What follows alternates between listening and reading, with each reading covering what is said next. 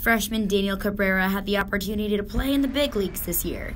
Instead, he stayed at home right in Baton Rouge to play as an LSU Tiger, something head coach Paul Mainieri is very excited about. He's an outstanding ball player. He's got a great athletic body, He's strong for a freshman, uh, runs pretty good, throws well from the outfield. Although he's young, he's mighty. Mainieri says Cabrera will be confident and ready on opening day. And I think he's. I think you can put him in the category with the LeMahieus and the Bregmans and the Antoine Duplantises. They were ready to play as a freshman when they arrived at LSU. I, I, think he's ready to help us right out of the gate. The head coach said Cabrera will be starting at left field, but we shouldn't expect him to stay in the outfield all season.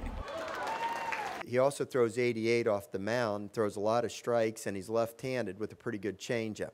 We can see this multi skilled rookie begin the season on Friday, February 16th, under the lights in Alex Box. Caroline Fenton, Tiger TV Sports. If you like this video, make sure to give it a thumbs up and hit the subscribe button below.